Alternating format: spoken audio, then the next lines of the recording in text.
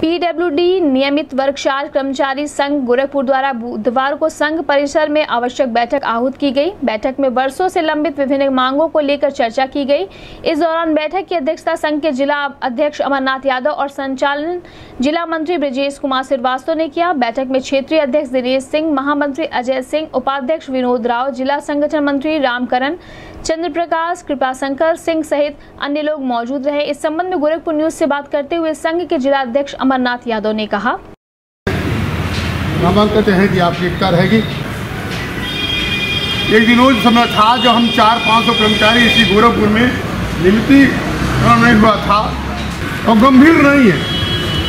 आप बता सकते हो और सेवा करने को अमरनाथ यादव आज हम लोग दो वार्षिक अधिवेशन प्रदेश में लखनऊ में हमारे संगठन का है। आठ तारीख को है। मूल रूप से बैठक उस पर है।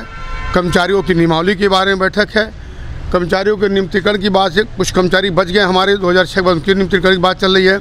और सबसे गंभीर मुद्दा हमारा है जो विभाग में कर्मचारी 20-20 साल करके नौकरी करने के बाद और चारों मसलों पर काम किया, उसको जब नियमित हुआ तो सरकार पेंशन से वंचित कर रही है। सबसे गंभीर मुद्दा हमारे प्रदेश का है और पिडौडी से लेकर सिंचाई विभाग, जल सारे विभाग कर्मचारी आज मुश्किल से इस गोरखपुर में सात आठ सौ कर्मचारी, एक हज़ार कर्मचारी होंगे, जिनका पेंशन मुद्दा है और सरकार जानती भी है, इनको पेंशन देना भी चाहिए।